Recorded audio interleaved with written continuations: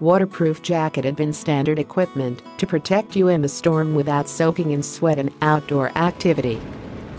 Now Chemix Guru would like to reveal the secret of glue between fabric and the breathable film. Usually, our client will use the machine to do the laminating process. In the video we will present it in the lab. Today we would like to use CG1698 to laminate the multi-layer fabric and breathable film. The feature of this glue include good initial adhesion and good weather resistance. Before the laminating process, we should add 10% of hardener inside. After fully mixing, we can start to coat the glue. In the first step, we put the glue on release paper and use the glass rod flatting it. Put the fabric on it, wait for few minutes. Then you can peel the fabric and use the film to cover it. Press it in 30 seconds.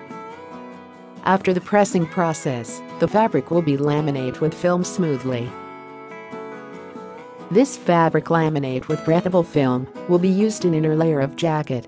It maintain the strong adhesion, high moisture permeability, and laundry resistance. Also, it can be applied to insole with a wonderful performance. CG1698 your most suitable glue for fabric laminating. More information on www.chemixguru.com.